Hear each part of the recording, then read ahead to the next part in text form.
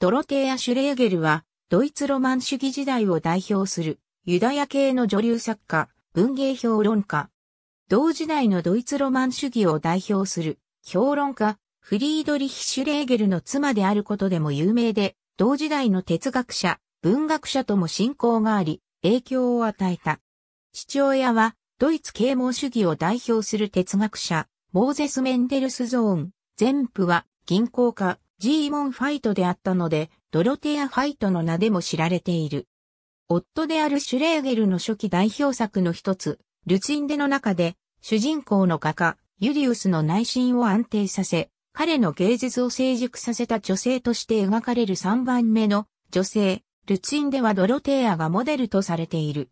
当時ドロテアはシュレーゲルより7歳年上で、二人の子持ちであったが、前夫と別れてシュレーゲルと再婚した。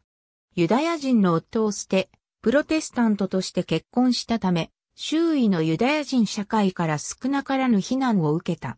ありがとうございます。